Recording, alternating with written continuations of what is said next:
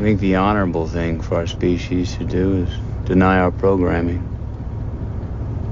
Stop reproducing. Walk hand in hand into extinction. One last midnight, brothers and sisters opting out of a raw deal. Do not trust any friends or family members. I repeat, do not trust friends. Yeah, a bit. Yeah, it's, it kind of is. Hey James, I went uh, to a uh, the theater and I watched Seven Samurai. It's in theaters at the present moment because they got a uh, 4K uh, re-release through the Criterion. Um, so it's been it's been in the circuits. It didn't feel like like it, as always. It didn't feel like a three and a half hour movie. It just went down. It just went down like so smooth and like just like a snap. Um, but it was really cool to watch with an audience because everybody found um, there's that uh, the young samurai whose name is escaping me, who's coded as super gay. Um, and the audience, like, 'cause he's, he's prancing around all the time, you know, and he doesn't want to have sex with that girl who truly want, who really wants him. Um, and uh, yeah, it was just, it was kind of the the comedy of it. Uh, you know, obviously it's at the expense of the gay coded character, but it's it's still there and it still kind of makes you laugh. And um, and Mifune, like the the you know like the farmer guy who's who wants to be a samurai, like that's fucking crazy, man. He that that performance is so much fun and so energetic and and yeah, it was just really cool to hear everybody having a good time watching the Seven Samurai. But yeah, that's that's weird because I I wouldn't I wouldn't I don't think I could imagine it even put together with people like with an audience like what the Yeah. reactions would be. That's that's a- interesting. it was a full house, sold out, packed. That's that's Uh, crazy. I'd like to do that with like yeah. I, there's a lot like Jaws probably be good for that. Incidentally, well, they're going to be playing Jaws uh, in the month of October. But yeah, yeah, I mean, it is. Yeah, it's cool to see these old movies in um, with audiences, and whatnot. I love it. Yeah, there's an energy to it. Se- Seven Samurai too is that yeah that's such a funny one like you say because I I always I haven't watched it in a long time I should go back but Hmm. um li- like you say I always remember it just being like just going down so smooth because it feels like if you want to do Lord of the Rings it's a slog yeah, yeah, yeah. No, something about the way it's paced, and it's so Star Wars. Like I was with my buddy, and like we obviously Kurosawa was very influential to um, Star Wars uh, and George Lucas and stuff. But you, you just, you know, the older you get, the more you catch. You're like, wow, okay, well, that's just there's the Ewoks, there's the thing, there's the stuff. Um, yeah. You once upon a time went to go see Ghostbusters, right, Chris? Yeah, I saw Ghostbusters in theaters. I've seen uh, many. As Total Recall, I think was my favorite to watch Oh. like in a crowd. Yeah, Yeah. it was uh, it was cool because everyone there like absolutely loves the movie and like knows all the all the lines and all the shit. You know, they're like they're waiting for those parts, and it's just uh it's neat to be in an audience with a bunch of fucking perverts like you. Yeah, oh I like that right. Just like our our audience and audience of perverts like us here at the X-tinction Agenda with uh, James. nice James Chris. And uh, today um, we're going to be talking. Um, I was trying to trying to make it perverted, but it's not working out. Uh, Grant Morrison's new X Men. We're it's we're getting back to our commentary, our elaborate commentary. Today we're doing uh, new X Men issue 122 to 126, which was released between February and May of 2002, uh, but cover dated March uh, to July of 2002. So we got like five issues here. And uh, we're going back to the House of Fun. Uh, anyone who's read the Invisibles might get the reference and maybe understand what I mean, but I'll I'll elaborate on that later. Um, these are some of my favorite. I know I said this with the first three issues, um, but these are my other some of my favorite comics. Like this, this is the high watermark for Grant Morrison's X Men run, as far as I'm concerned. Uh, the next issue with Zorn is one that I, I really admire, but um, I reread the entire series. Um, I don't know the other night, um, and yeah, this this for me was like peak, and then after that it gets a little meandering and weird, and we'll get into it. There's there's good reasons for it, but how did you guys feel rereading this? I um I did not feel the same way as you. Right. That's cool. How do you feel? Um, I uh, I don't know. I, I it's okay. I mean, it, the the I had a real bad time with uh with the art at the end. Right. yes. Yeah. Um, Kordey? and and it was it was but it was like not it was beyond bad it was it was not acceptable to be published it Sometimes was, that's there true. was the action was like completely nonsensical to the point where i had to try to imagine what what was was he having a seizure while he was drawing was what what the fuck Yeah. and, and yeah. I got mad. I got mad. I got mad. Okay, and I was like, and the script was good. I'm Yeah. I'm rolling back my initial take on. Remember at one point I said that I felt like Morrison softened script for Mhm. for you know Kordey or whatever the fuck the Van Sciver and Kordey. Um, yeah, I don't I don't think that's the case. I didn't feel that here. I felt like he continued on with his full story and that these guys had to sub in and shit the bed. Yeah, well, I will say like Kordey drew some of these issues in two weeks. Like that's that's a, tr- a true story. Like um, because Van Sciver couldn't do it and Quietly couldn't do it, and they needed someone who could do it. And He Kordey's a competent. Yeah, he had He two weeks to do do it, it. and he did it. No, he didn't. Yeah, but he did it, man. Like like I don't know. It's a it's I a guess. house. right? Did you see the Wolverine? Oh yeah, I'm not saying it's good. Like it's very bad, but like honestly, you in in two weeks draw this. You can't do it. And I know like he's a professional, and you he he gets held to a professional standard, which I feel that he failed. What makes it even worse is um because I've got the original issues, and um they changed the paper stock when at the moment that Kordey came in. And so the coloring is much more like sort of computerized and what, and the inking doesn't cover up the mistakes as much. It's a perfect storm of bullshit. I fucking this is the comic like issue 125 with Lilandra doing that crook thing. That's the one I got Kordey to sign. Um, Well, Chris, you and I had the same thought. Yeah, just to send horrible images in chat. Yeah, yeah, we're just sending you bad That's thumbnails bad in the middle of this conversation, right in the middle of the conversation. Anyway, keep an eye out for that thumbnail, friends. Uh, but so yes, so yeah, okay, the art's really bad. You're you're not wrong.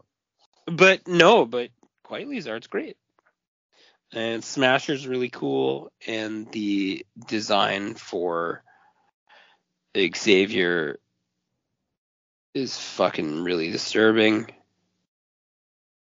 Anyway, um, Yeah. yeah, Uh, and I and I like the I like the Shi'ar in this one. I like the idea of manipulating them to to to kill the mutants. Um, that's very cool. Um, I don't know. I liked a lot of this. Um, and then some of it was also there was like a lot of little funny things too. Like um, you know, if you don't complain, if you're wishing to complain to Mr. Logan about injuries sustained in yesterday's field expedition, you're wasting his or her time. That's right. Yeah, there's a lot of comedy. Little, Yeah. little Logan quips and, and funny stuff. Smasher was really cool. He really locked it down in that first issue. Um, With the cow? yeah, I was thinking about that moment. yeah, Maybe well, he broke through atmosphere. Give him a Yeah. break. She's come. Protect the earth. I don't know. The the the Shi'ar, are treated like fucking idiots. Like there's that one later later on. They're they're coming down and like you know, they don't give show me enough respect. Blah blah blah. I'm fucking freezing out here. brain through his head. That's right. yeah, yeah. They're they are disrespected. They're disrespected by Morrison in the same way that I don't know, like a bad Justice League member would be disrespected by a writer that hated him. Oh yeah, I think that's Well, what I and- really gravitate to in this too, because I I typically don't like the Shi'ar episode. I don't like when the X Men go to space, but this one kind of does it for me. For maybe picking up on some of that, just like the and the turn towards um, genocide, uh, how easily Empire slides into that with with uh, Cassandra Nova's prompting. Like that's is it's disturbing to think of the power. They have like um quote unquote sterilization squads. Like they do this often. It's Yeah. like clearly. hmm Yeah.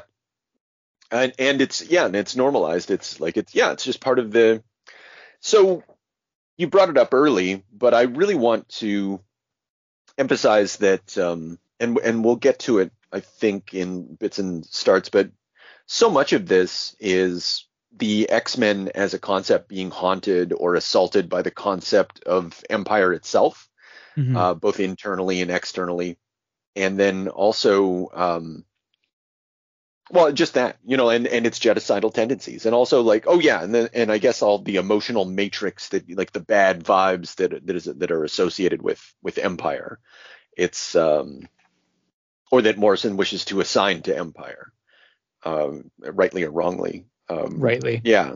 Yeah, rightly. Yeah. Come on, man. um, yeah. So okay, let's. I guess we'll take it uh, from the top. We got issue 122. We got the good. Um, Quietly's art is um fucking on point again. But what I noticed, I like, I often try to think to myself, like, what what makes this fucking better than the other people? You know, we we this haunts us. We talk about it all the time. But I'd like to posit that like one of the elements that makes him better than anyone else is his capacity to like uh, illustrate shadow. Shadow plays very prominently in a lot of his images, and particularly in New X Men. But like this opening image where like Empress, the wheel is broken, the world is lost. There's this huge shadow, and it, it all like it all makes sense. Like it is, it's it's it's Quietly's ability to to understand perspective so wonderfully. Uh, yeah, it's like- funny. No, sorry, I was going to say we we always talk about his perspective, but yeah, the shadow, the light, the his light sources being true. I uh, Yeah. I didn't pick up on that as uh, like we didn't talk about that as much as maybe we should have, but yeah, that that's a big thing. Yeah, and we're gonna we'll see it uh, later in in later issues. Uh, Riot at Xavier, there's some excellent shadow work there, and and similarly through throughout this, and I think that like, but that's a function of of his work in perspectival work as well. Like he's able to get those light sources so well because he's he's he's it's from the perspective, right? Um, yeah, it's interesting. It's very it's very precise.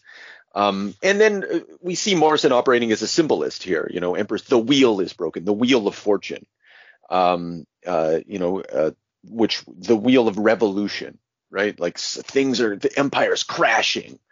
Um, and it's it is one of those things that you know, like Morrison likes to open up with that that symbol, that mission statement thing. The world is lost, uh, and th- that's very effective. And Superman can't help this dude, you know, like in the cape or whatever, like your your average superhero guy, now ain't gonna do it. This is a job for the X Men. That's I like funny. that. Yeah. Yep. Yeah, the steersman. That's uh this this guy, right? Like the uh, yeah, he's the, Steersman, Yeah, I will not yield. Yeah. Yep. I love that. That Cassandra is terrifying. Like, and I think um I'm still angry at the Wolverine uh, Deadpool movie for like just Yeah. misusing her. Uh, just like it, like they did not touch on like a tenth of like what she should be. But anyway, that's uh neither here nor there right now. But the uh just that moment like become insane for me, and he's just like ah, destroy your ship, and he does. Uh, it's awesome. They're all like floating, Yeah. like falling through space. Just just desperate shit. Yeah, what is it? The and and is. I like that her this depiction of Lilandra as as well. Like we we often see her as well in in uh, Chris Claremont's early run. Like the X Men team up with Lilandra to like retake the Shi'ar Empire, and she's much more of like kind of a warrior. But I, I think over time she just became Lilandra, right? Just the queen. Um, and you see kind of her badassness kind of in this. You know, like she's she's uh, the resistance. You know, the queen ironically, even though she's like the the queen. Um, but yeah, this monster has uh, deceived and undermined the empire itself. Um, but I, there's you know like there's a there's a inability to understand the concept of empire within there, which I think you've already alluded to, Chris. Um, yeah.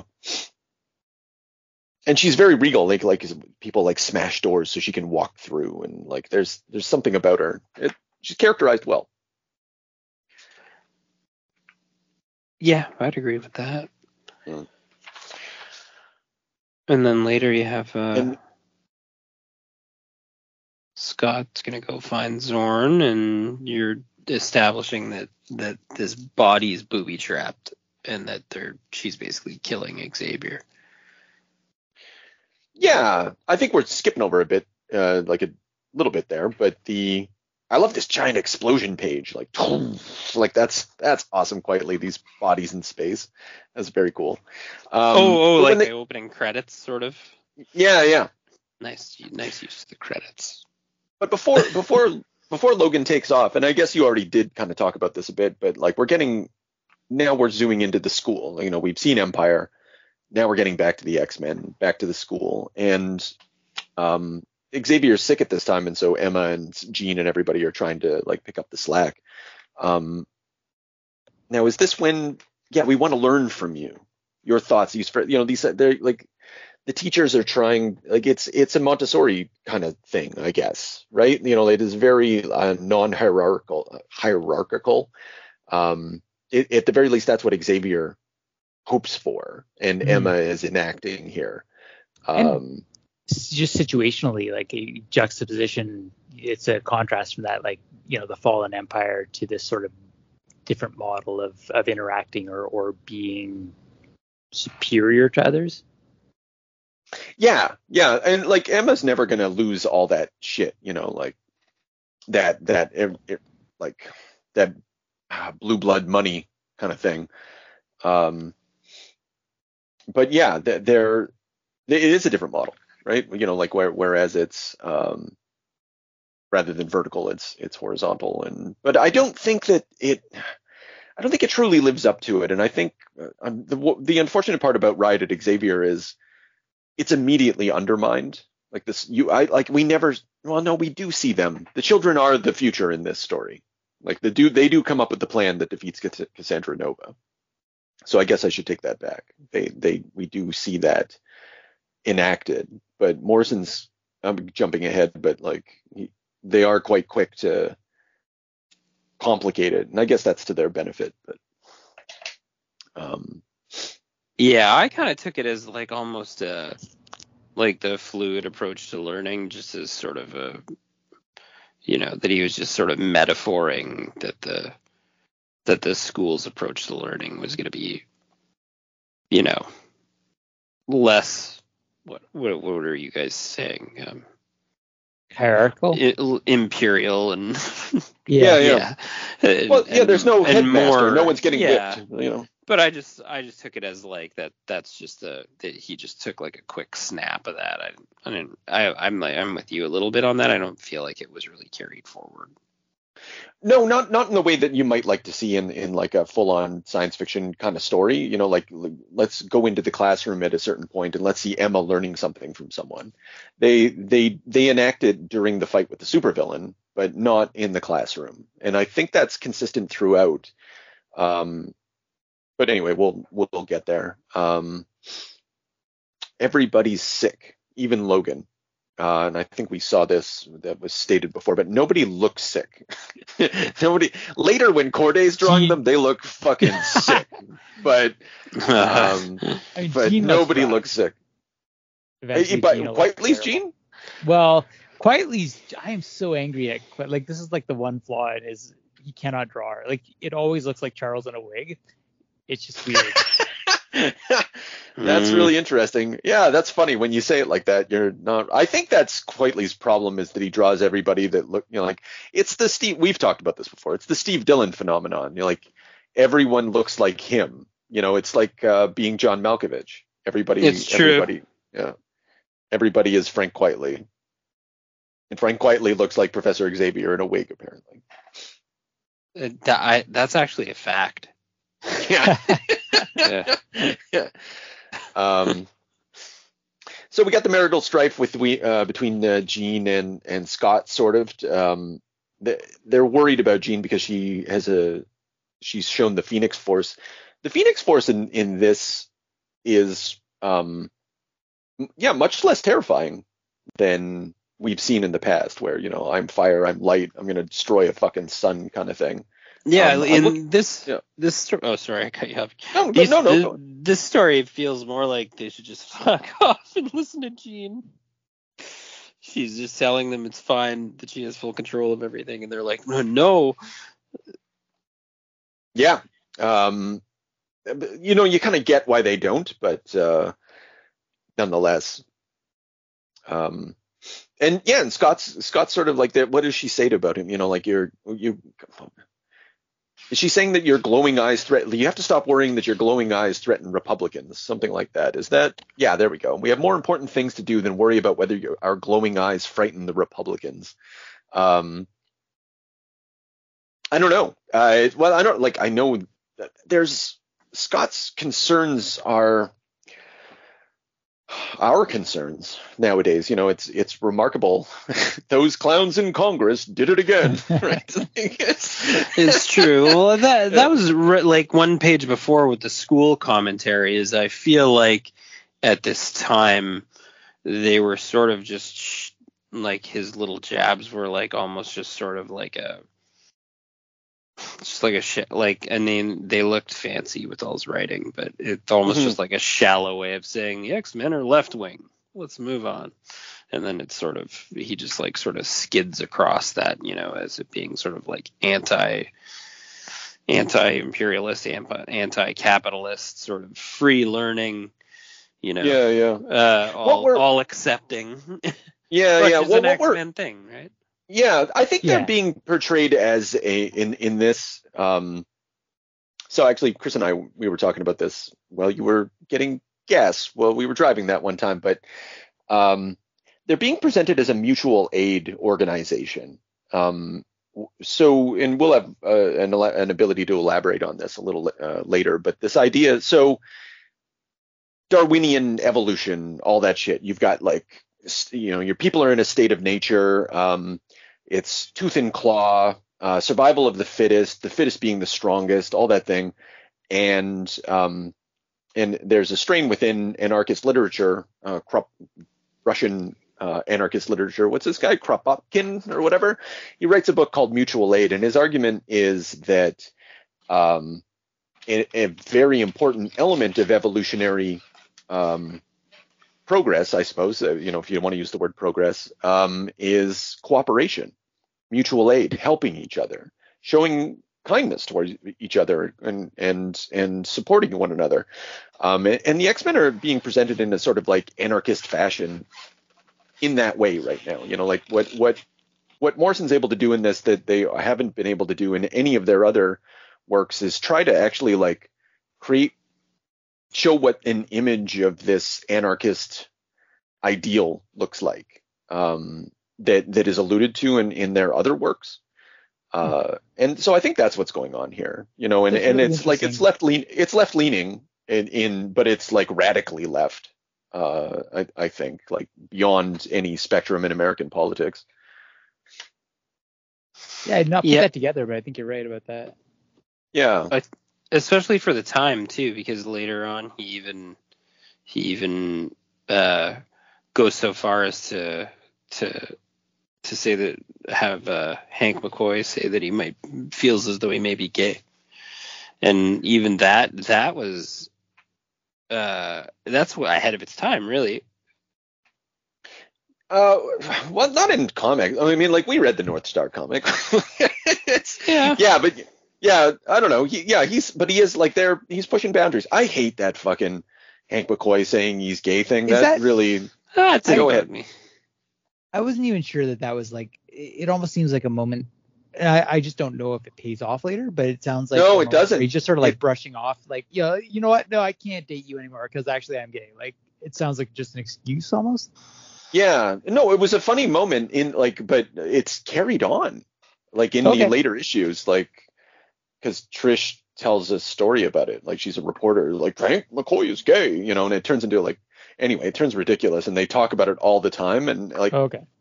yeah, and I, well, not all the time, but later issues are going to devote some some time with Scott and uh, and Hank talking about it, and Emma and Hank talking about it, and Jean and Hank talking about it. Uh, you get the point. Um, Mhm. But it's funny. It's funny in this story, because yeah, they're uh, Morrison's uh, d- like depiction of of gay and uh, transsexual individuals. You know, like that's that's nothing new. I mean, that's all very Vertigo, right? It's it's it's taking that Vertigo um, ethic of of early Karen Berger um, comics and and just transplanting it into 2002. Uh, and so it's not really like ahead of its time, but it's trying to mainstream amongst like mainstream nerds. Uh, Hmm. that, hey, yeah, it's it's it's cool, it's normal, right? Yeah, well, maybe Yeah. that's a better thing since like only Yeah. ten people read Vertigo comics. Well, exactly, right? Yeah, yeah. Oh, just kidding. No, you're anyway, not but wrong. You're yes, you're right. He's right. You're, I, I I agree with you though. It's it's more of like an effort to like to mainstream a little edginess. Well, you're not wrong. I mean, like Invisibles only lasted. I mean, it was by the skin of its teeth, so much so that Grant got people to jerk off to a symbol in order to charge his magic or whatever. So that's uh, Oh, what Yeah. the fuck? yeah, yeah, wasn't- yeah. Well, we're looking at It it's the wasn't difference between read. All right, So- well, so new X-Men sells uh, issue 126 is going to sell over 100,000 issues. Um, the Invisibles to actually, you know, honestly, I've never. I should look up the. end. it's probably on this. I'll look it up later. But I can't imagine their numbers going over 20,000, 14,000, you know, something like that. They they, they were never pulling uh, Sandman numbers. No. Um, um, no, n- neither was Peter Milligan, right? Like I'm, I'm also thinking of Peter Milligan in this. Like, I just think early Vertigo work is very, very um, LGBTQ, etc. You know, like all all that stuff's there. Um, and whether or not it, it meets the standards of of 2024 or whatever, fuck, not my, I don't care. But depictions were there. You know, like in an effort to tell stories were there. Um, and all that's happening here, to my mind, is just like uh, a publisher is willing to just give a, a major series of Vertigo treatment. Um, and you're seeing like not insignificant. no, no, well, no, it's not, and it and it in, it it seeds the future, like uh, in in many ways, like yeah, I mean, like you you'll get, I'm sure I'm sure there's a, a sizable portion of X Men fans who look at Grant Morrison's run as the decline of civilization. like, why can't we just have it the way it used to be when like it was all like it was pretty it was pretty clear that like babes were were number one man. Like i'm just like yeah the i don't want to assign uh, like i don't want to say it's chris claremont's fault but his particular kinks didn't help anything.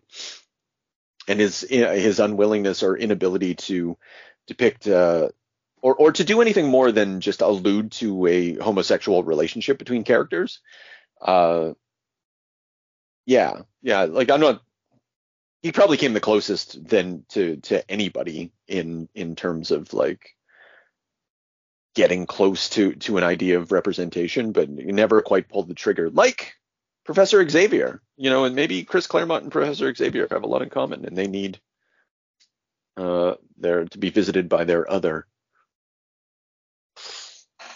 Yeah so um we get uh what's that what the the issue before this psychic rescue in progress uh, it's it's made redundant by this this two page spread here when they explain everything that happened uh which leads me to think that like that silent issue just didn't need to happen it was just put in unnecessarily still mad about that too. The challenge of the silent issue. What am i mad about it i just I, no, I, I'm I, just kidding. No, I find I find like as w- with age, I'm just like, wow, that really didn't need to happen. You know, like for the efficient clockwork nature of this story, nope. Like it it it confirms what we said, which is just like it required two panels to be explained. Boom, and you know that's what happens. Uh, maybe three or four. Um, oh, I found a little cool thing. Chris, you'll like this.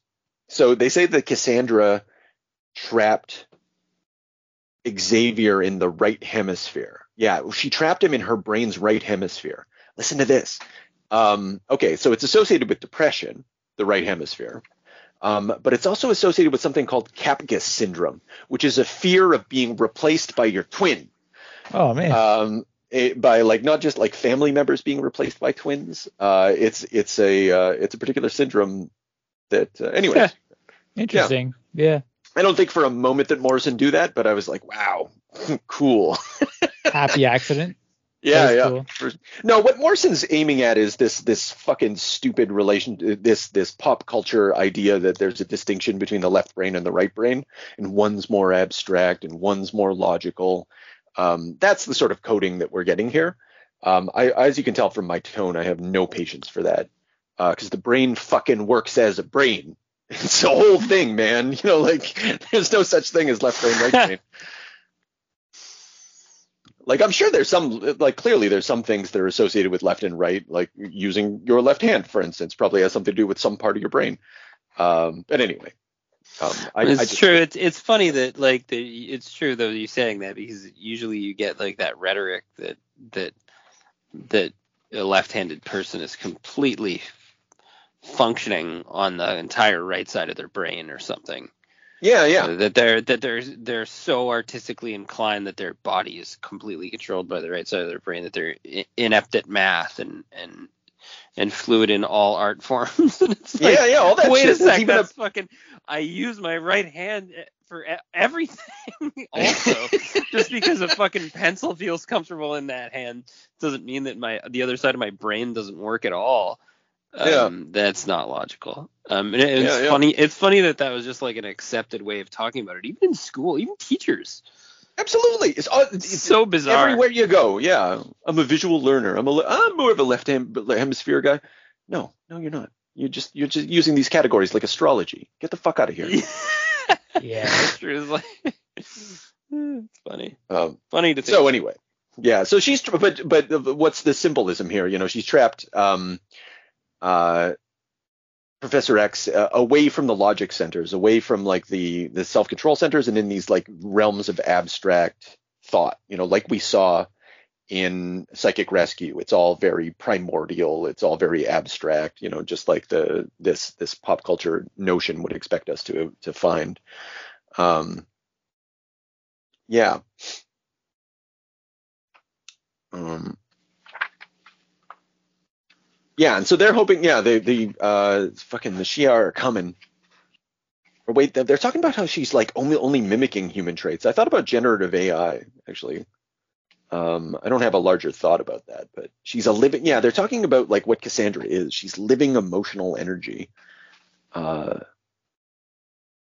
and this idea that the world and the womb are the same thing, uh, and they're battling, you know, for control of the womb, which is like Cerebra and stuff. I don't know. Like I, I know what Morrison's aiming towards in that story. It's that um, it's that fucking Stanislav guy, Grof. It's that Oh, whole okay. fucking Grof thing. But I like I don't Right, right. I don't know if it adds anything. It's it, but it's that's what's going on Yeah. there. I like the giant Uh, superimposed scowling baby though, as they have that conversation. It's cool. Oh Like, yeah, like they're fighting in the room. yeah, you're right. Yeah, it's all angry and stuff. Yeah. Um, living, Yeah, yeah, yeah, formless, what that- immense, and totally unique.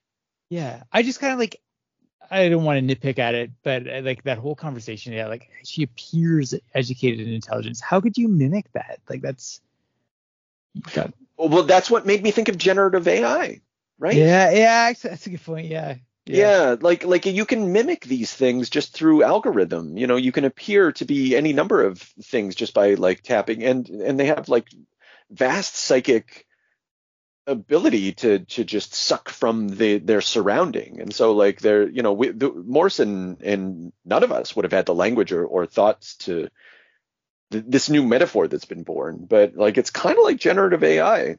Um, but like this this um this well but like highly emotionally charged and and bad vibes man. And like that might be generative ai too. I don't know. Yeah, I hope it starts attacking our self-esteem. That would be that'd be Yeah. Oh, Mm. we can ask it to play like pretend you got good vibes though and it'll pretend it has good vibes. So it's it's not doesn't quite fit. Um i'd love to ask ai like tell me write me a letter in the style of grant morrison i bet it could just really take the piss right out of him really Oh.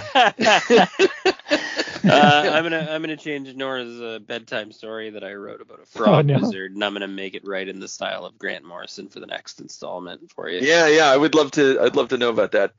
Um, okay, yeah. So we're taking a lot of time. I'm, I'm sorry. It's this is my fault, but there's so much going on, and uh, like this, this is the stuff that I especially love. Like, and there's bits of action between now and the end that that can be probably glossed over. But getting to the Zorn thing, uh, uh, once again, man, wait, is Magneto just sitting in a fucking cell, just his Tibetan pals, just you know, like, and he's just hoping the X Men are gonna pick him up one day and make him join, like, again and Yeah, again. Yeah, I'm so he's like meditating. He's hanging out. It's a Yeah, complete it's healing a bird. He's healing Yeah. birds. Yeah. That's no, he Magneto. knew. He knew they were coming. Yeah, know, I'm sure he did. He yeah. knew Scott would need him. Mm-hmm.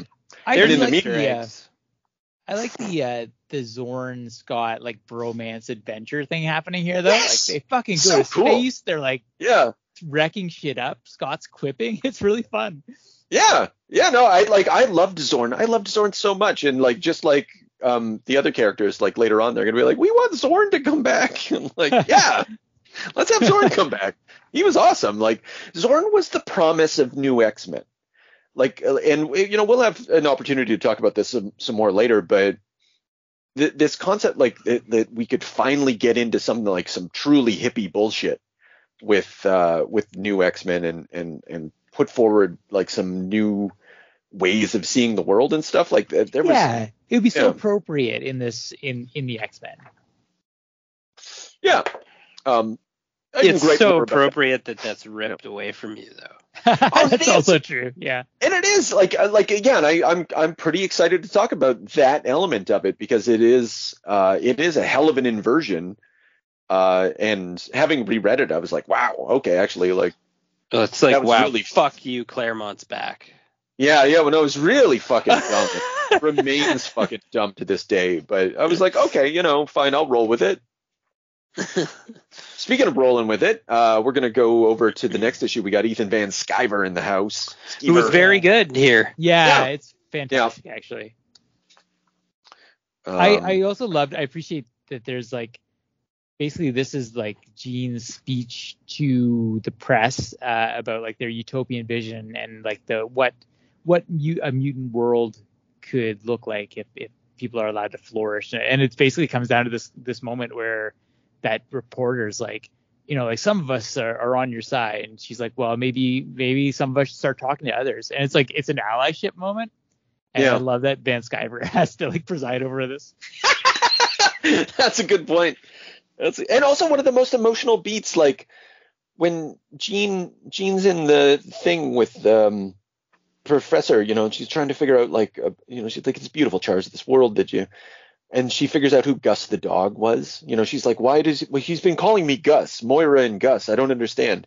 And then you find out, you know, like it's it's actually pretty affecting. Um and Van Skeever, he, like I said it before, I'll say it again. Like his characters emote well. Um, um, can we? Sorry, I d- there was something I wanted to point out. We're gonna rewind slightly. I'm so sorry. Um, they said that Cassandra Nobi, Nova booby trapped her body. Um, I forget if we talked about this about issue 115. There's a point where James, you may re- recall this, when um, Cassandra Nova, for reasons that we don't understand, injects something into her neck as she's talking to the X-Men. Oh yeah, that's right. Yeah, and you're like, oh, you don't think anything of it. That's her booby trapping her body. That's when it happens. Um, way back in issue 115 with that with that injection that you just kind of like don't pay attention to because the scenario is so fucking weird anyway.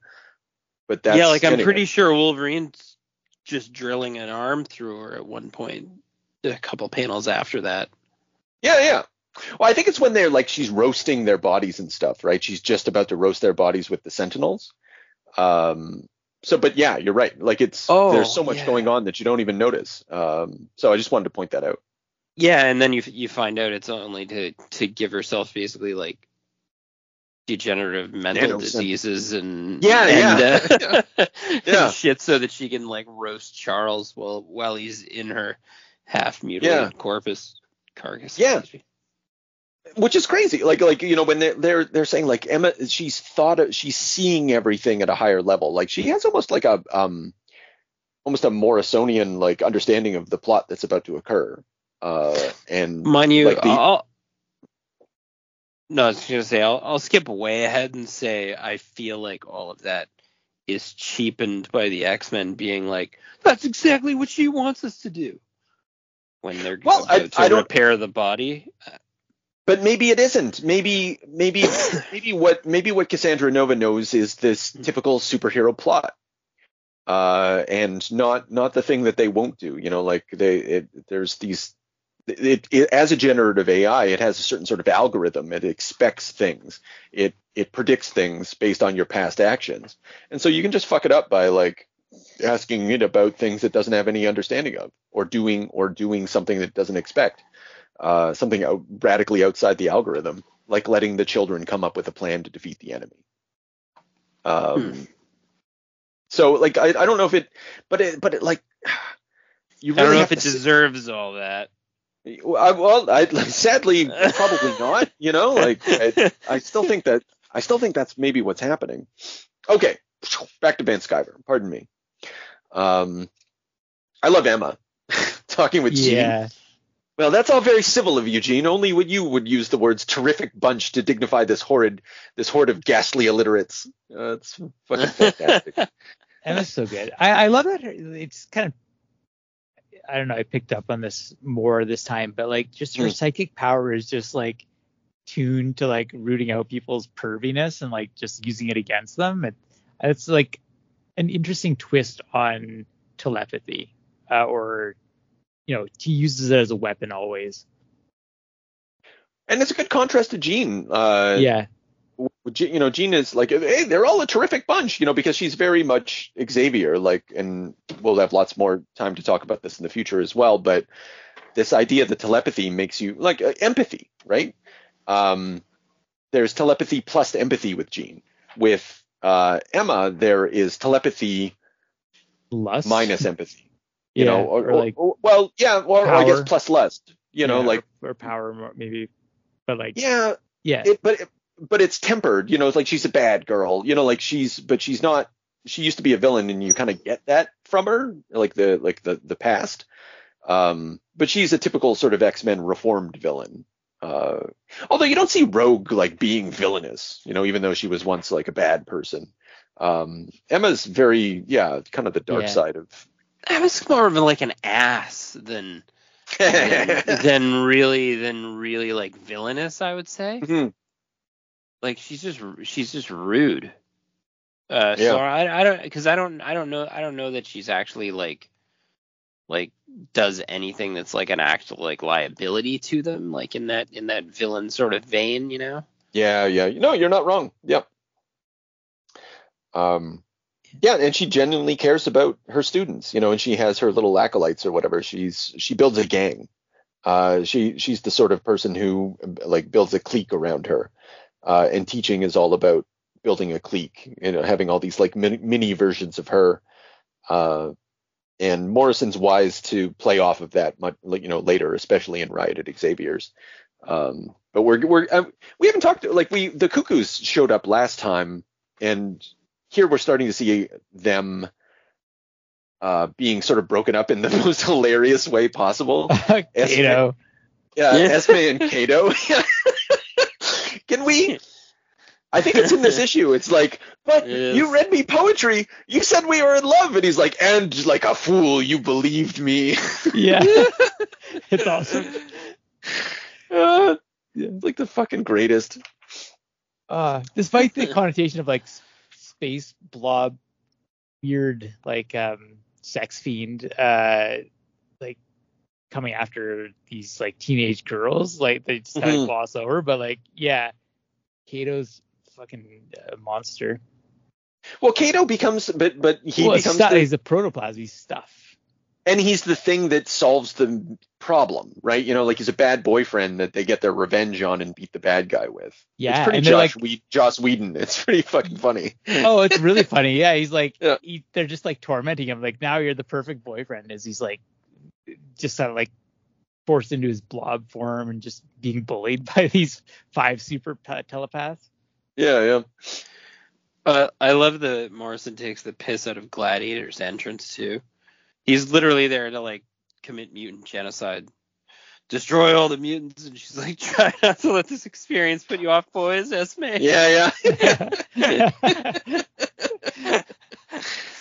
this is so Yeah. stupid No, yeah, it's it, but it's fucking funny and it's it comes off really well. Like like again the uh there's there's a lot of humor baked into this in in a way that you kind of wouldn't expect, but probably like definitely should expect.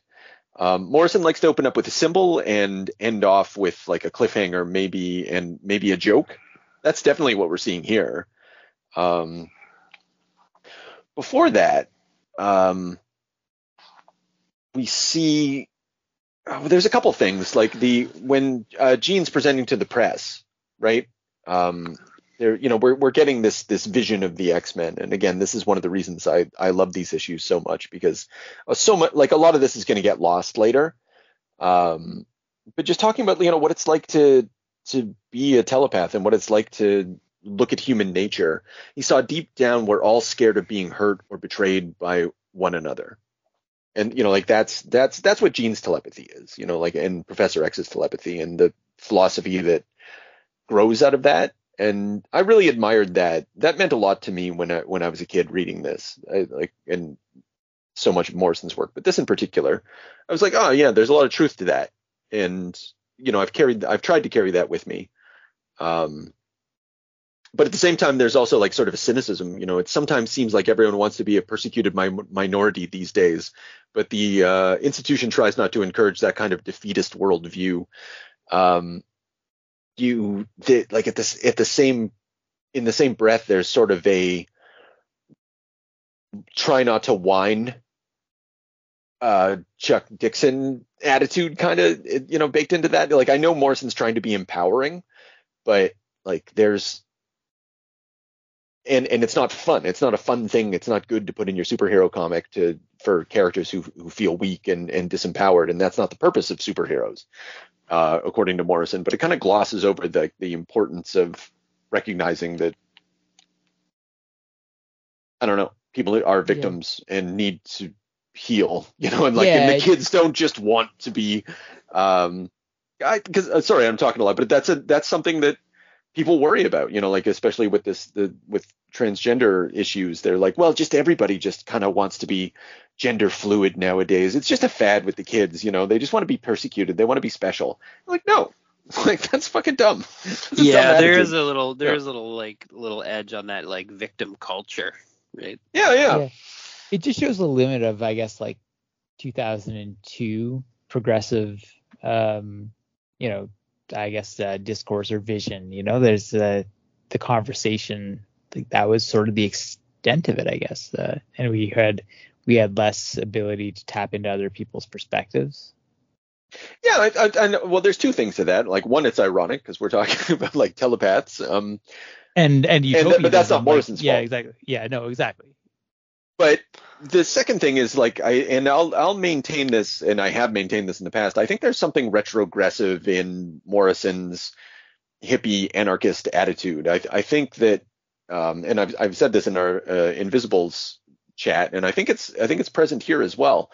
Um, the you know everything everything streams towards neoliberalism in the corporation uh, in in some way somehow.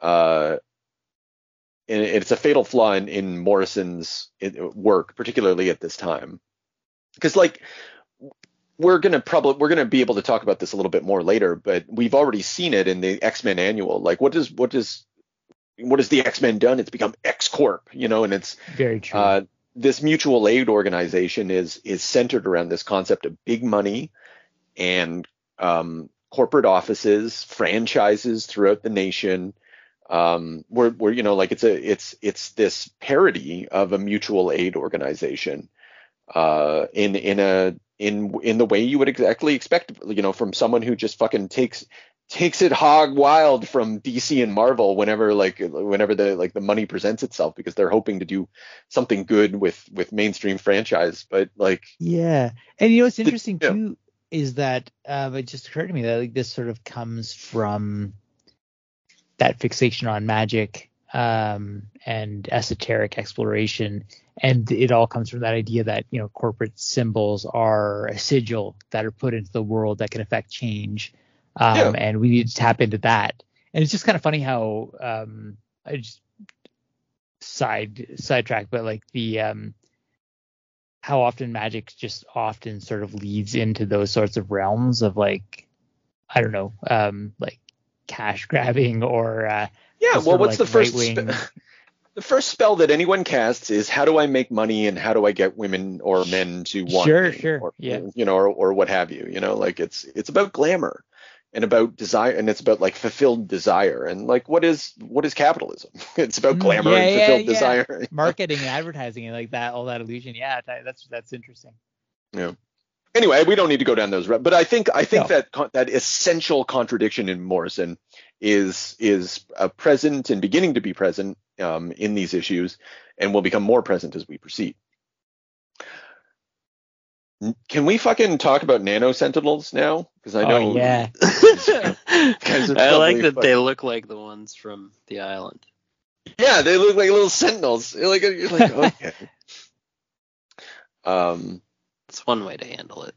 they kind of look like shrimp too that's I Yeah. like that Little fucking shrimp hanging out Sea there. monkeys yeah So, um, where did that Sentinel program come from? Right? It's a it's a covert American uh, research program in South America. It is American imperialism, right? And so this is again, this is like this is literally like these embodiments, these symbols of imperialism have entered in like literally into their bodies, like and are attacking them from within.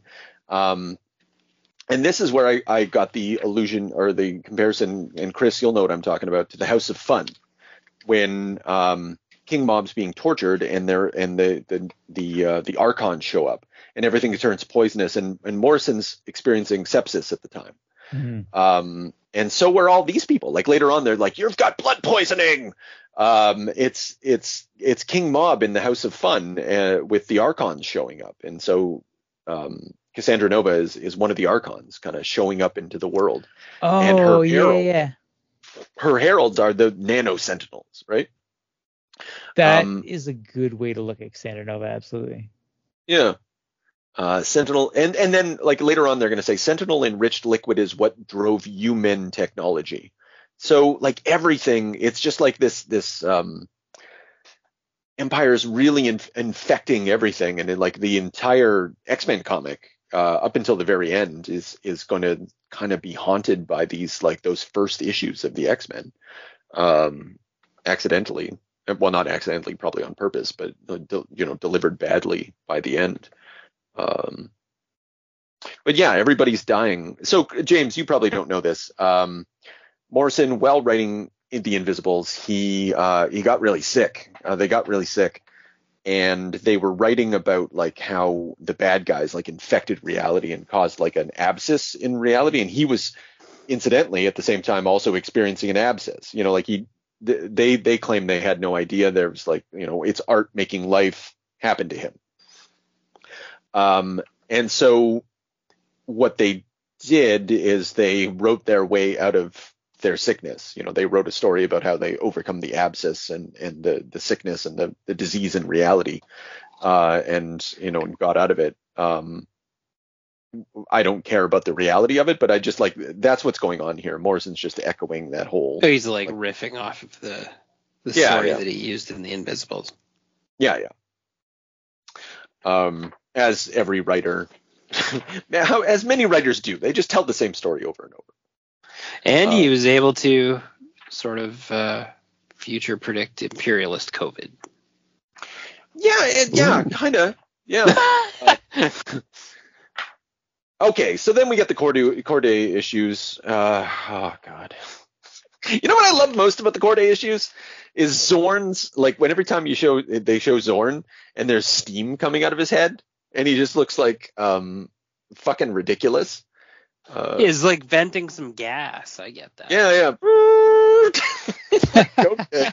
All right. Oh, you have like a little steam engine sound in your mind. Well, there's one issue in there's Well, one to image in ruin it. particular. Yeah, yeah. I'm gonna I'm gonna send you a picture of it, but it's fucking yeah. It's just like.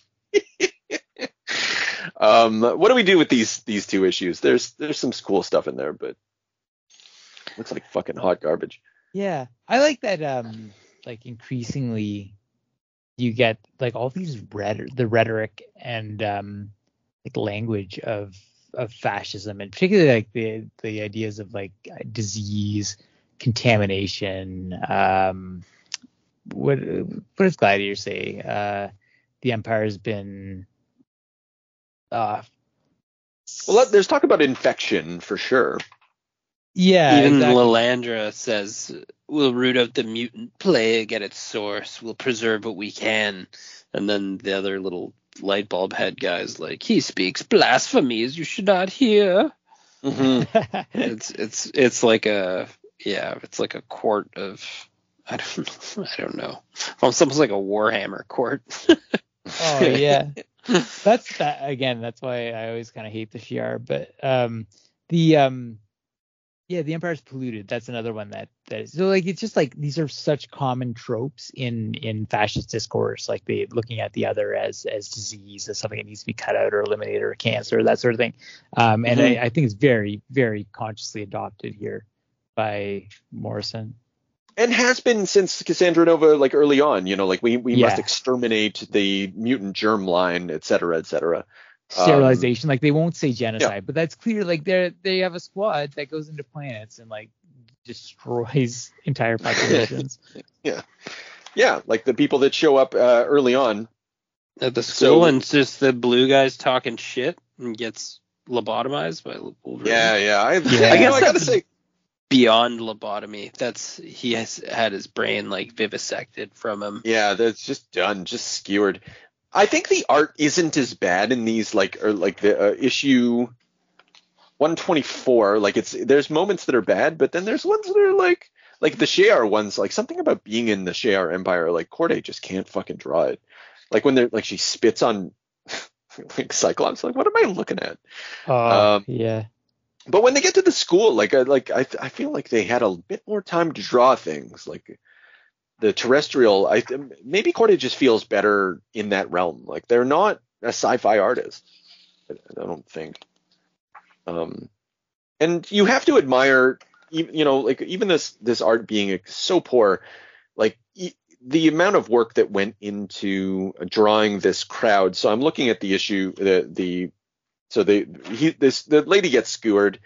Um, the uh, Emma's gotten saved by the uh, the kids, but then you know then we turn the page, a few pages, and we've got Jean and uh, Hank leading all the reporters and stuff. And look at each of the reporters; they're all individuals. Each one is given an actual like emotional state and persona and action and they all feel like real bodies moving in space and i know it's drawn not to the standard that you would expect from a marvel or, or a mainstream comic like like but frankly there's a way in which it's like beyond the standard um, there's a there's a competence that generally isn't actually demonstrated in most comics like it's it's a weird it's a weird juxtaposition because you're like this sucks but you're like Yeah, it looks like they could have been better looks like they colored a, a what do you call it? Like a like a template, like a thumbnail. Yeah That's what the book looks like. Yeah, yeah, it's it's uh, it's all sketched. It's like you know, it's done in two weeks.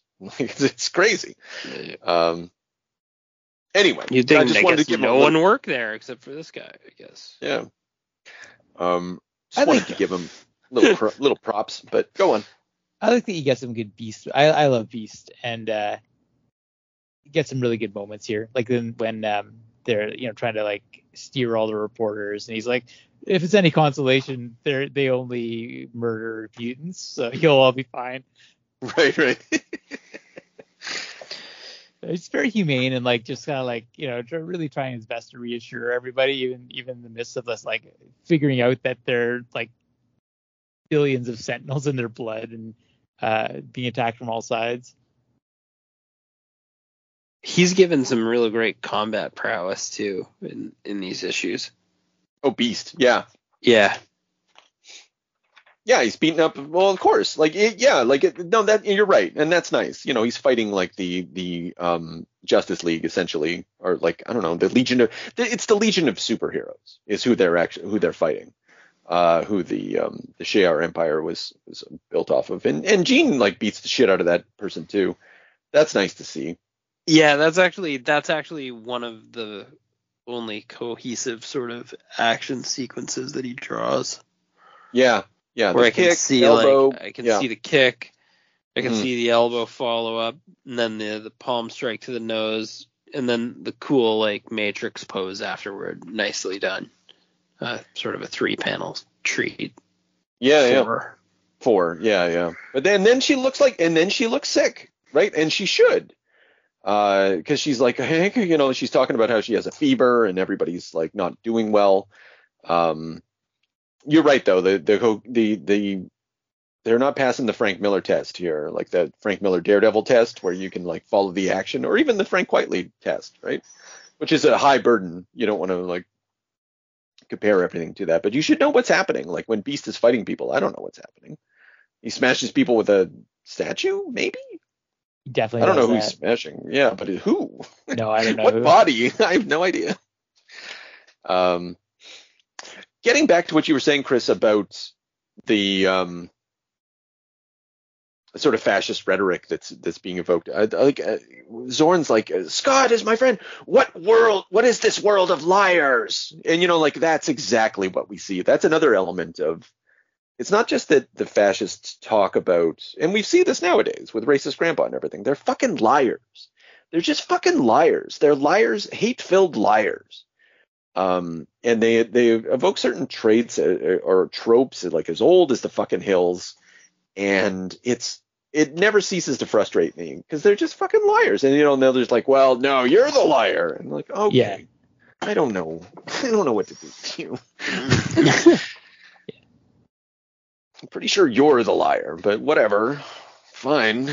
That's what a liar would say. Um, yeah. So, and then the next one. Uh, yeah, what does happen in the next one? I think it's like a lot of action. Like it's really unfortunate that like Kordey is put in charge of the action.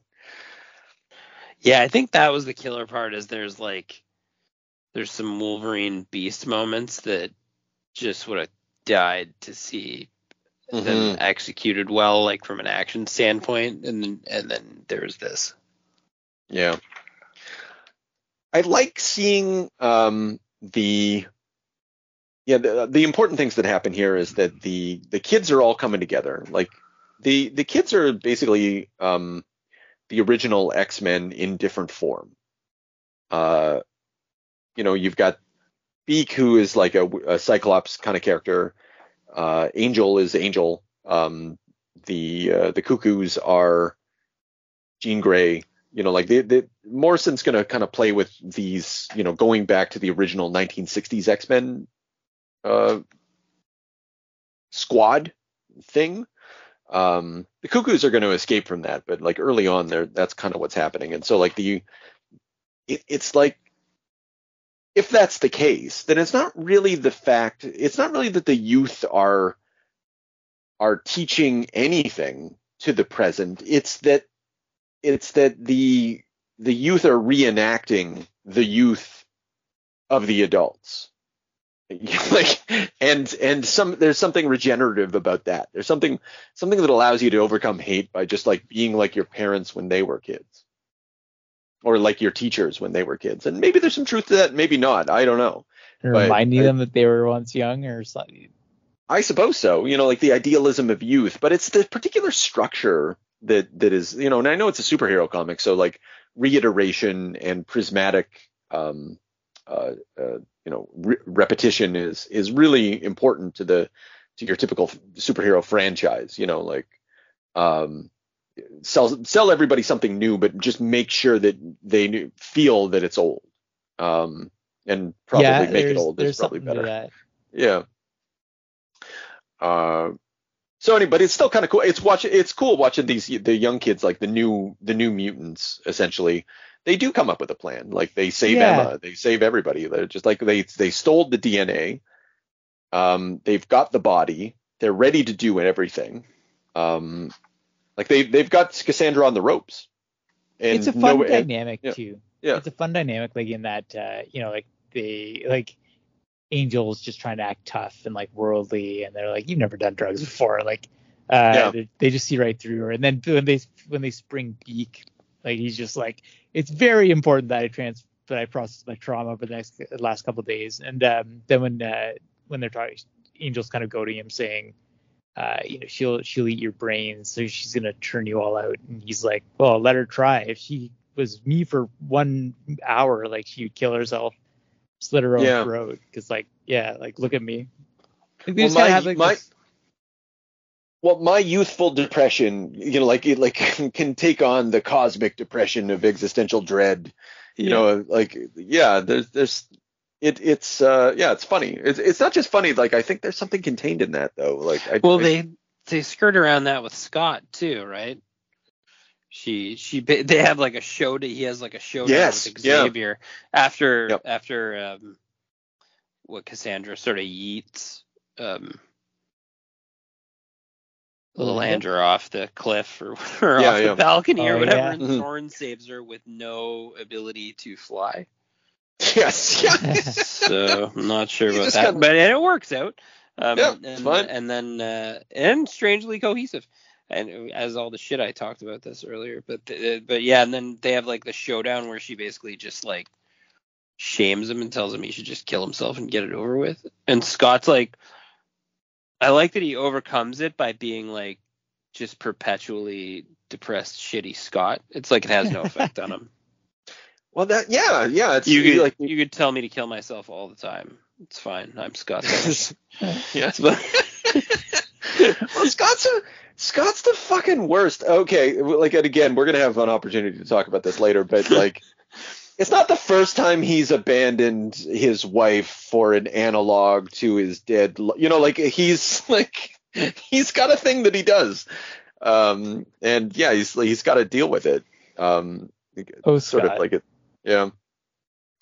Um, yeah, and he decides in this moment, like, like it, it, it's kind of funny because, like, he says in this, we're led to understand in this moment that actually he could have defeated Cassandra, but he would have had to have killed Professor X. Like he he he walked up to her and he understood it and he he gauged the defenses and he realized, well, there's no way I can do this without killing Professor X, so I'm gonna stop.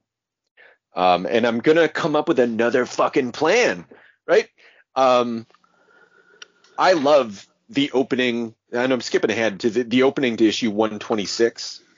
Uh, you know, you have no doubt we can survive this? None at all. Like we've got fucking the best. We got Yeah, the Captain awesome. America of X-Men coming It's at true. us. You know, and Logic Yeah. would dictate he should have killed Professor Xavier. sure, yeah, but that's you know, but then It's not Yeah. the X-Men style, you know. I guess. And it and it doesn't suit yeah, like it's not it's not just that but it, it doesn't suit morrison's um uh reason for writing these superhero comics which is to infect nerds and seed popular culture with this like um lateral th- this idea that you can think laterally around an issue like you know True. like you you can over you can overcome uh existential dread through hope that's a real And it- thing that you can have right Yeah. You can execute it and here's heroes executing it you should help each other that's good too Yeah, and it like it's explicitly addressed when like the students ask like, "Are you gonna kill her?" And Jean's like, "Well, I have to think about that. Like, it's it goes against everything we've ever taught. There's got to be a better way." So like at least Yeah. there's an engagement. I mean, not not that that's an uncommon thing. Like it, it's been done a million times with Batman. Like, why don't you just kill the Joker? But um, yes yeah, I did think of that when um, I thought of the Joker actually in two ways. I thought of that that moral qualm that always always exists, um, in, you know, but also that I Morrison's going to take this up later with um, uh, in in their Batman run. It's it's later going to be said that like the Joker doesn't recognize Bruce Wayne. It's just Batman, and like those are the two individuals in the universe. Um, I think there's an echo in there actually. Um, Oh We'll yeah, that's that, that they explicitly say that about Cassandra Nova and Charles. Yeah. Yeah, yeah. Um, so you know, Morrison just finds other ways to, to just do these things later, but Yeah. um, I and and yeah, going back a little bit. Um, Sure. Like Lilandra, uh, like I love the the opening of the issue where like she's just gone full fanatic. Like if you love me, die for me. yeah, Let the empire burn in a glorious pyre. Make war in my glorious name. Um, and then Cassandra's behind her, just say like, I think her advisor's trying to like talk her out of it, and he's just she's just saying, Underneath the laws and rules of every civilization, a snarling beast prowls, straining at its chains. I only set the beast of empire free, and it tears and let it tear the stars apart. And that is that is that like that implication that in all empire, in all sort of like dominance, there is that strain that uh, you know the call it genocidal, call it fascist, or even just like colonial, but the that is waiting to to come out or emerge and, and spiral towards death. I think that's Yeah. looking at Morrison's politics in general, like there there's that it's that concern of like how do you how does a revolution avoid that? And that that touches very much so back to Invisibles as well. Yeah, yeah. Um, but it's like it's very Freudian. You know, like like underneath the ego, uh, the superstructure is the id, and id Mm, the is death like drive. the death drive and all that shit.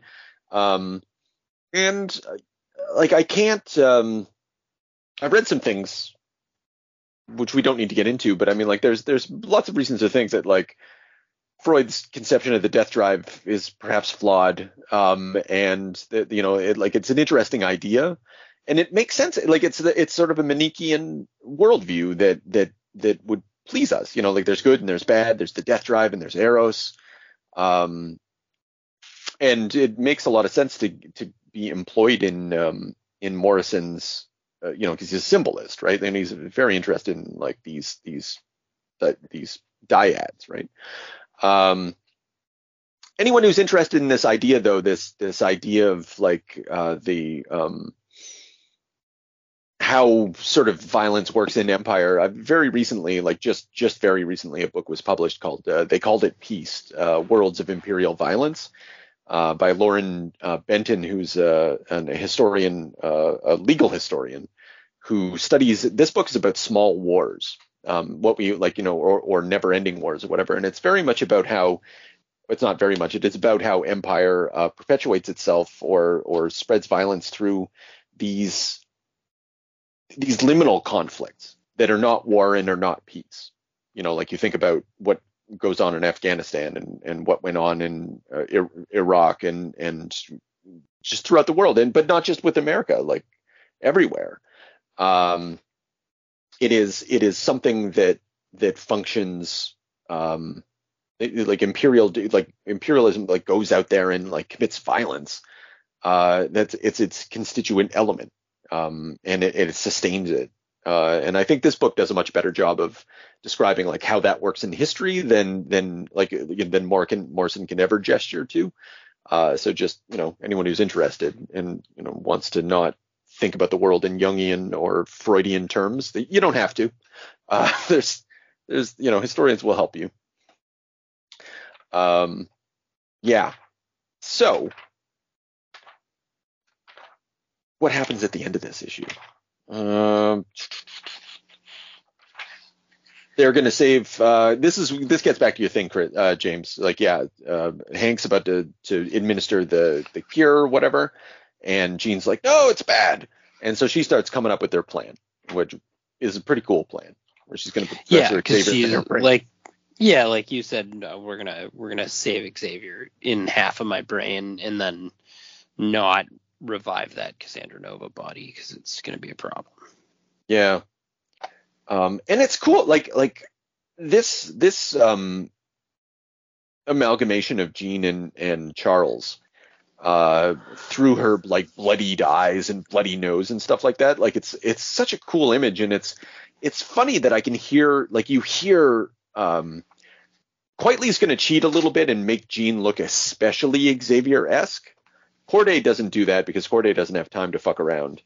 Um, it just looks like Jean, like badass Jean, but you can hear Xavier's words. It sounds like him, you know. And like I know this is kind of a bit of a stupid thing to say, but Morrison, that's what, that you can't just do that. He just does it with words. That's really good. like I know that's dumb.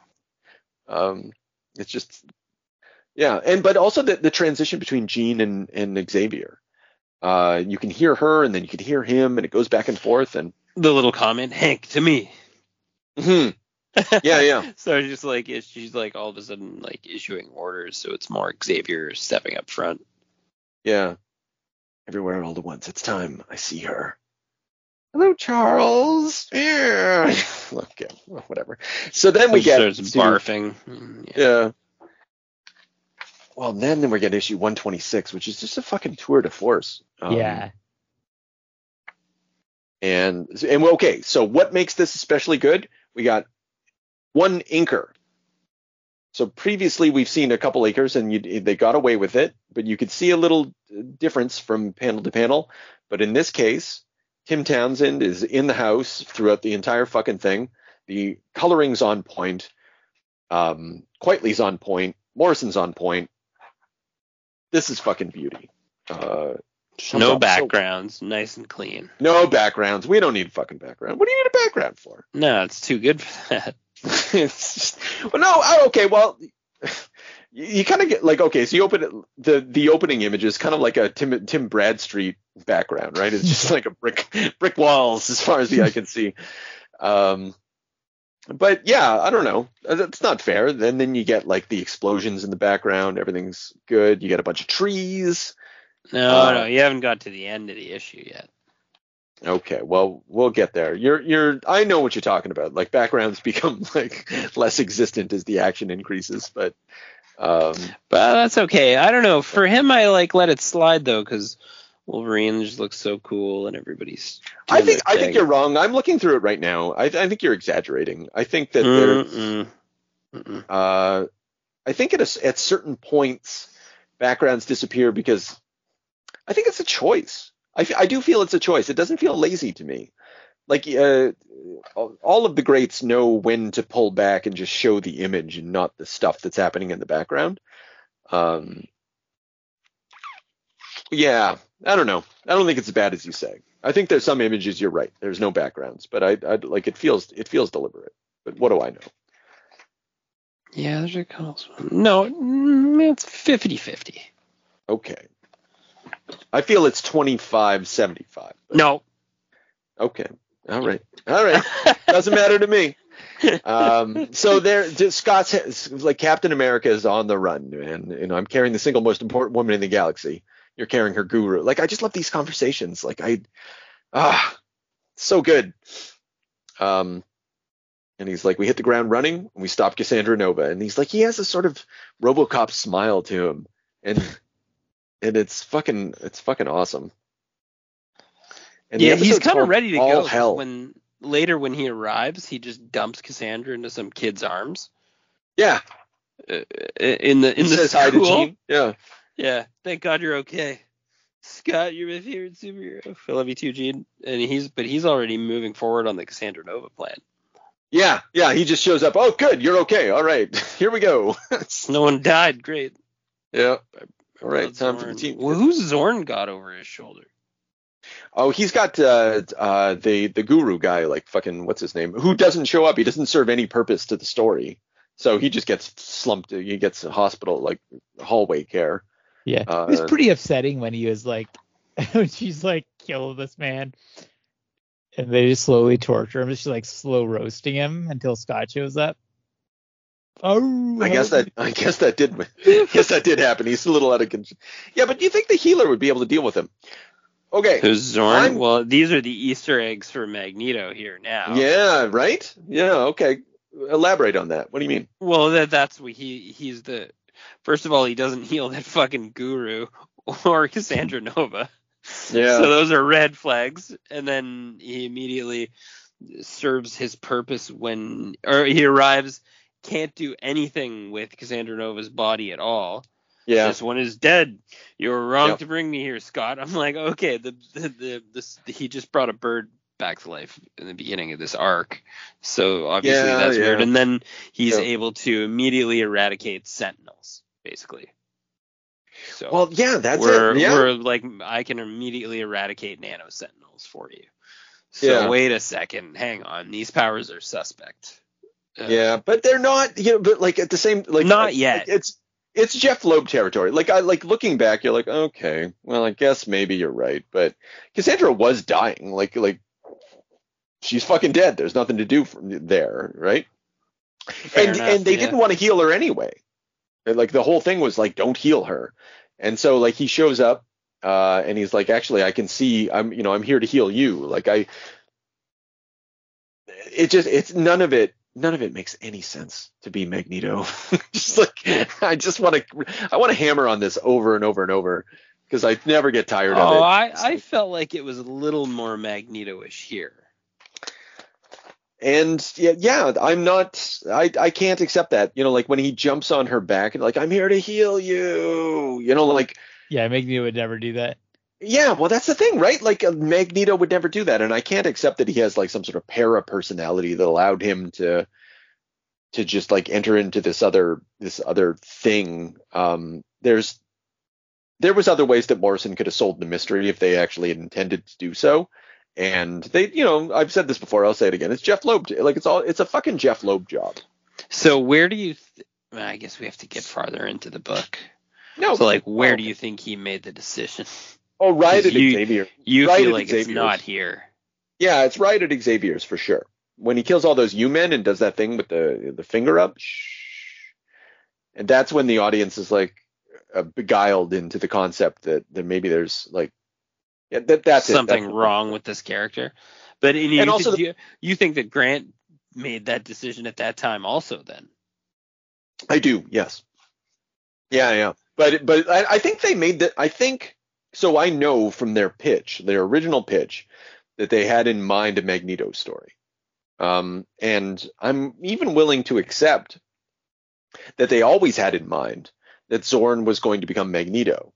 My gripe is they did a Jeph Loeb on us. Um, because it's a monthly comic and they just like and they they just didn't care about my intelligence um which is fair fine i'm reading comics you know you can insult my intelligence. It's fine. It happens every day. Um but that's you know, that's that's what happened. That's what i think anyway. Uh, yeah, I, don't- I, yeah. if i ever guess corner so. them in a bar watch out morrison. You're i'm gonna i'm gonna fucking be very upset with you one day Yeah, I, I guess. Yeah. I mean, I, I, I, I want to give him the benefit of the doubt and say that, like, if he planned it to be Xorn the whole way along, that he would have done Mhm. better. Yeah. Well, well, I, I think that's why I get so upset about it because there's two possibilities. It's it's one, it was it was just like a um a pivot at a certain point, you know, like a like a soap opera pivot, like where Stefano's actually, you know, like I don't know, whatever. Um They were all sitting around, and somebody talked to him, and he talked to editorial, and he's like, "Well, let's just do this." yeah, yeah. Okay, so that's one option, and that's insulting. Or the Well, other no, not really. they- I, I, I'm more willing to be okay with that. I feel like, but okay, well, I I'm I like I you know we differed. You know, like I'm I'm not okay. yeah, not okay with any of it. That makes you mad. I'm okay. Yeah. Okay.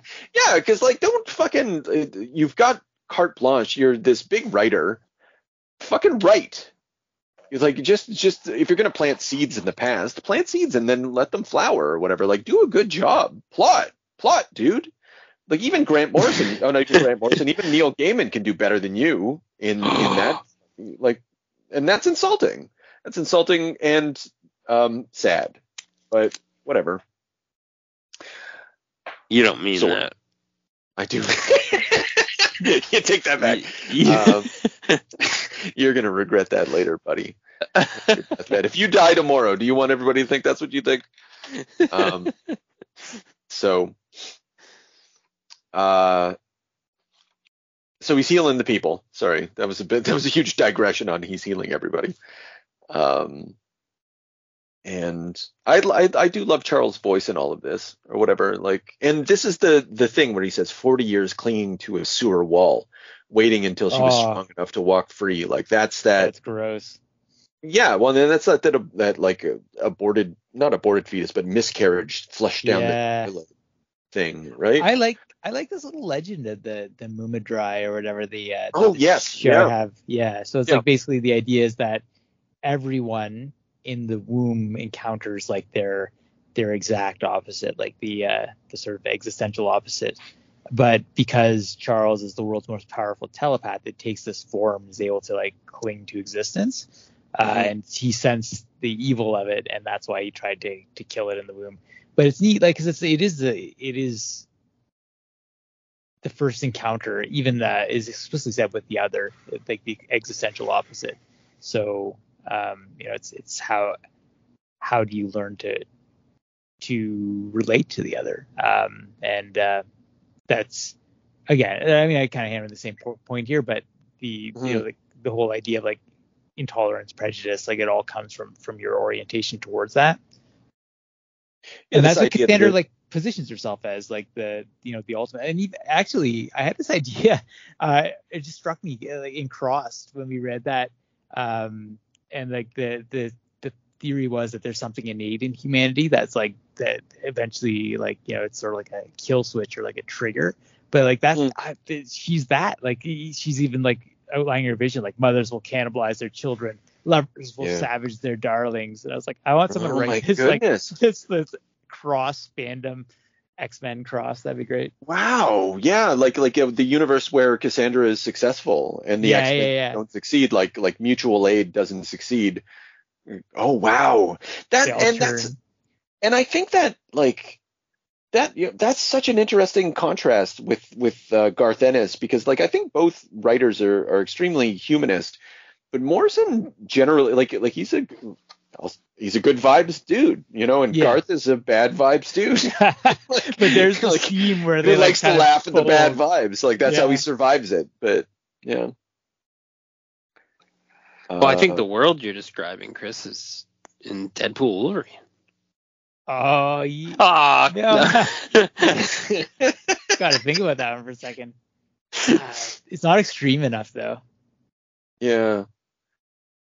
True so I, I think they're like this is also like the Jungian thing, right? Like you know, one is and the and the Grof thing. You know, like in the in the womb, one encounters the fact that you're the womb is the other. You know, like like you you encounter difference at a certain point, like unconscious difference in the womb. Um, and I think it, you know, like like I've commented on this before, but Cerebra is the womb in this instance. There's something about the the technology as world uh, in all of this, like this mutant detecting technology, which has been at the center of this this entire time, and it's been like the symbol of that that battle between um, uh, Cassandra and Professor Xavier. Like it's literally their mother's womb. Like that's what she thinks they're fighting over, and I and perhaps like and that's what Charles Xavier has recreated as part of his new vision, right? Mm, yeah. It's like he's brought her into the world. They're they're enacting some sort of primordial like um Grof Jungian drama where the shadow has been brought in and it has something yeah. to do with like how your mother birthed you. And uh, he is reborn through it too, because like she shatters his consciousness and like sends it out into every little bit little bit of Charles and everybody. It's that like sort of like uh, mm-hmm. like dream like uh I don't know like um like Japanese like uh, magical girl moment where like just like rays of sunshine and rainbows like spill out into the world like and everyone's a little bit better but then pulls it all back and like just like slams Cassandra with it because uh, she's dared to to to try to seize that power. And I think the individuals who are drawn is um, here the people that get um, Xavier's consciousness it like so you get three images. Um, one, like I don't know what I'm looking at in the first one, but it looks like they're they've been dealing with some sort of riot or something. I don't know. Like there's a lot of mutants who they're coming to some sort of. There's been some chaos. You can tell because there's litter all over the ground, and then there's homeless people, and then there's protesters. Um, it's it's a very like you know here's the the the oppressed, the marginalized, the activists, and come together now in the form of the Scarlet Woman who rides the world, uh, in sort of like like Aleister Crowley esque kind of imagery, um, and then and then she forgets, right? Um, and this goes what you're saying, uh, James. Like, there's a lot of like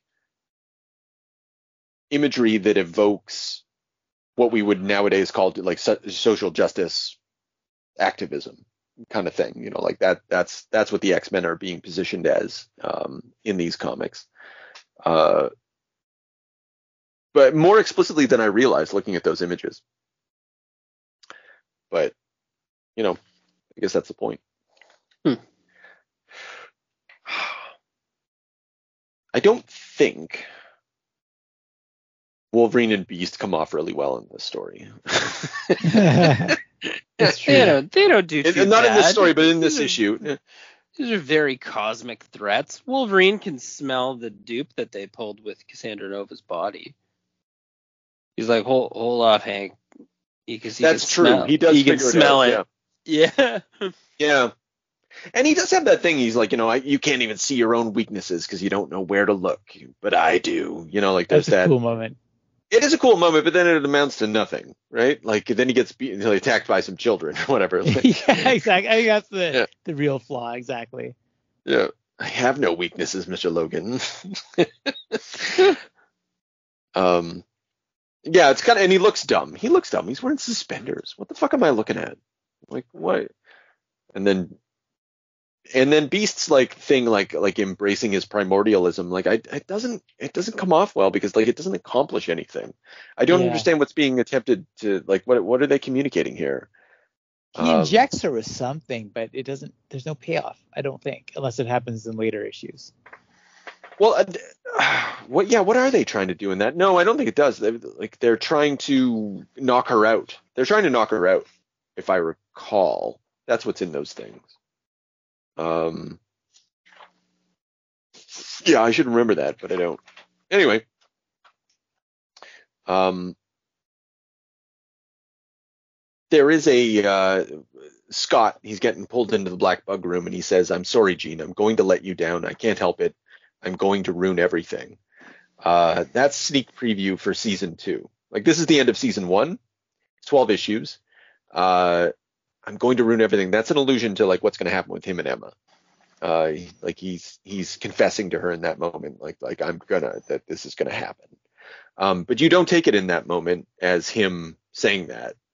Uh, it's just like it's just your typical like Scott Summers self doubt kind of bullshit, right? Your husband is busy with his many, many inner demons, Jean.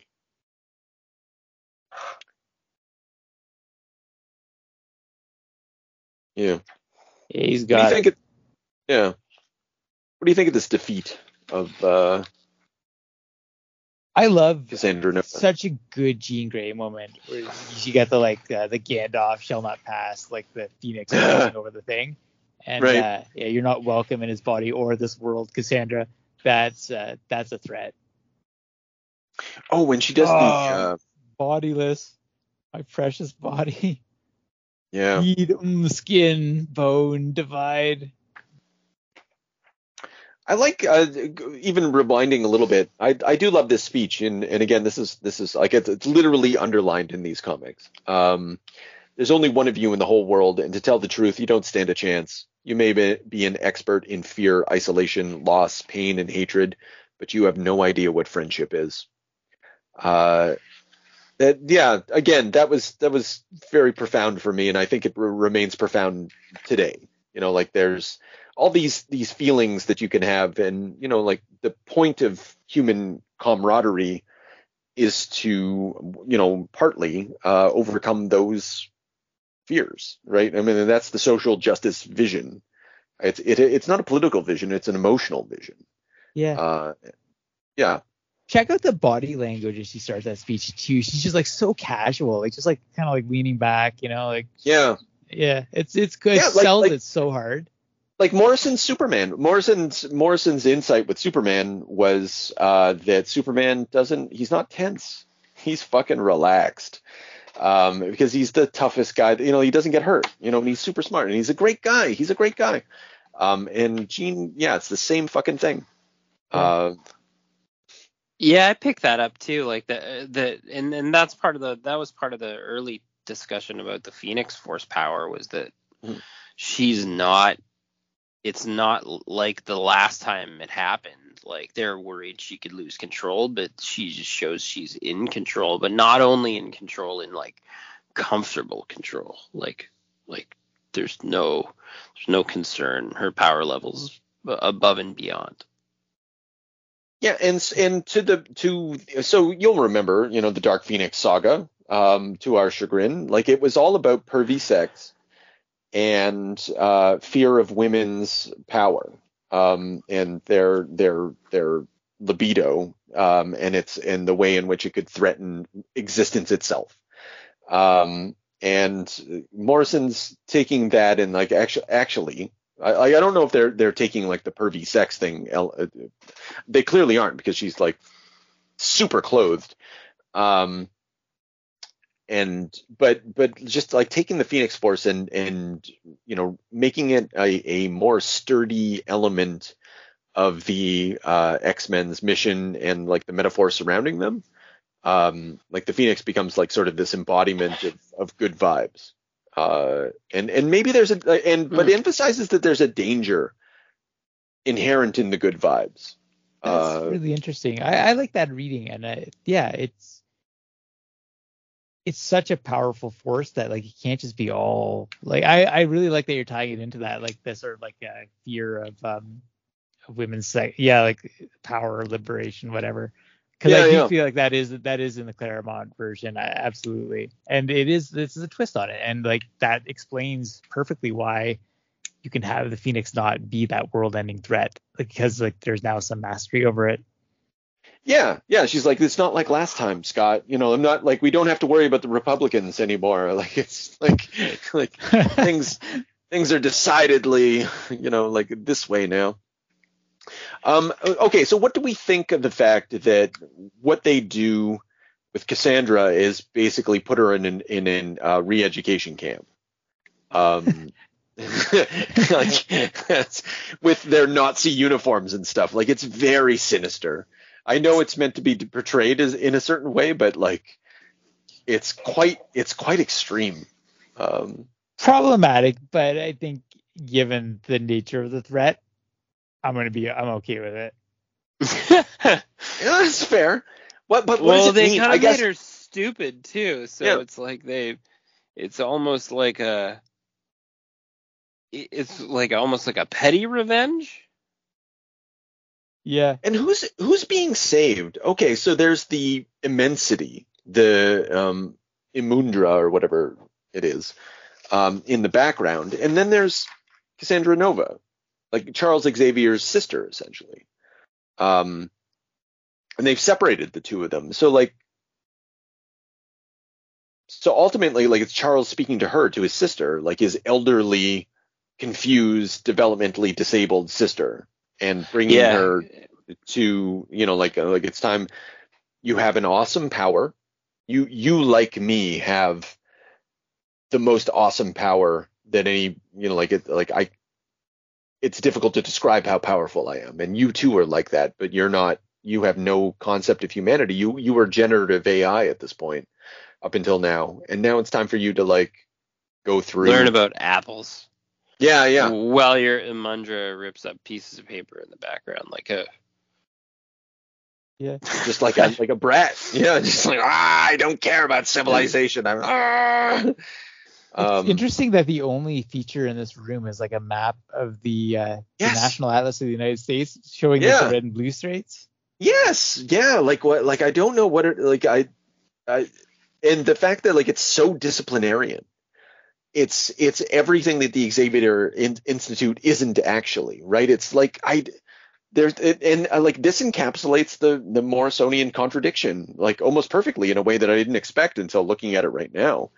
Um, there's there's the image and then there's here's the social project buried underneath it um and it's yeah it's it's very strange um but again this is why i love these comics because it's so fruitful um Yeah. i i i just find myself thinking in a million directions at any given time and that's all i've ever wanted from morrison And Yeah, like- that's fair. Yeah. yeah I don't. I, I, uh, I hate to keep tying it back to the Invisibles, but like it just struck Hmm. me now that like the opening images of um, of the comic are, are like Dane in that in that sort of environment and like just like you know resisting against it. Uh, that the the idea of like mass education or just sort of like that like rote learning and all that stuff. right and, uh, right right Weird, weird, weird thing to kind. Of, it is, it is, uh, yeah, an uncomfortable thing to come back to. But I do think that, like, then, like if you are the annihilation of, if you're crossed, uh, if the, if the only options are like destroying you and like that's against your principles or like retraining you, I'm gonna Hmm. say extreme circumstances maybe call for extreme measures. Yeah, and the funny, you remember Crossed plus 100 or whatever, isn't that like? That's right. That's, it's yeah, they kind of like that. Yeah. Alan Moore was like. I already know what to do. I'm, yeah, like it's the the triangulating between the three of them using Crossed as the way to do it is really interesting. I uh, I would have loved to have read Grant Morrison's Crossed, but it would never have happened. No. Um, I think it's antithetical to their like entire ethos. Cowards. um. Yeah. Then your Imperial ends with Chucky stepping out of the womb, umbilical Yeah. cord dangling down. Yes, that's right. Yeah, true. Yeah. Yeah. No, he's he's reborn and he can walk again or whatever, and he's Oh. Christ-like and. Oh shit! And it is actually ending on the image of the wheel, which was broken at the start too. Oh my goodness, you're right. Yeah, yeah. Okay, everything's fine. And the wheel is the the Yeah. not the womb, but I suppose the canal in which Well, like, the, it's both, the child yeah, is absolutely. born. Yeah, yeah. So yeah, like Morrison, I, you you've referred to him as an allegorist, um, and I was thinking about it while I was making supper, and I was like, I don't know if that's quite true, but he's definitely a symbolist. Um, and I I- like, and I I meant that I don't not to be petty, but I'm just trying to like, well, what's he up to? Um, anyway, yeah, well, he's definitely a potent symbolist. Um, and that that's definitely at work here. Um, yeah, I don't know. I I found these comics so I I I thrill at rereading them. Like I I skim over the bad art because nothing happens in those issues anyway, frankly. so I'm just like whatever. Uh, and I I think one of my favorite comics ever is issue 126. Um, I love to look through it. I love to think about the ideas that are being presented. I love what it does with superheroes. Uh, and and not just superheroes, but some of my like my beloved superheroes, my beloved X-Men are given so much love and so much like like like a proper treatment. Um, and their their their existence is made to feel like philosophically meaningful and also like a fun adventure. And I yeah, it's great. Now, all we need is a little energon and a lot of luck.